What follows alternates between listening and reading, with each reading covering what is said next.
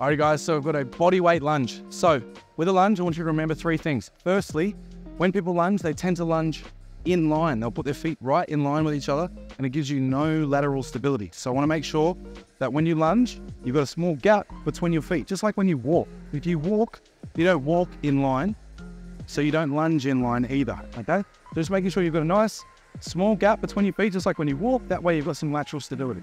Second thing is, as you lunge, when people lunge, they'll generally, they'll take too short of a stride and really congest themselves up in this area. Right? Ideally, what you want to do is lunge so that you've got a 90 degree angle in the front leg, a 90 degree angle in the hips, and a 90 degree angle in the rear leg. That way, you're all nice and boxed out and it's nice and stable. But as you can see, when I stand, but that is actually quite a, a long stride. So you just want to make sure that you're taking a nice long stride so that when you get down to the bottom, you're nice and boxed out, okay? That's the second thing. The last thing is just making sure that you're staying upright during a lunge and not leaning forward too much. I see a lot of people that will really lunge just on that front leg.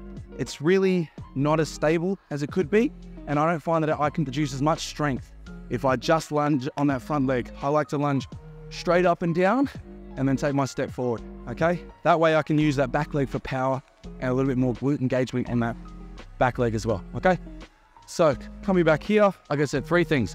Nice long lunge, a little bit of a gap between your feet and then stay upright, okay? And then gentle tap of that knee.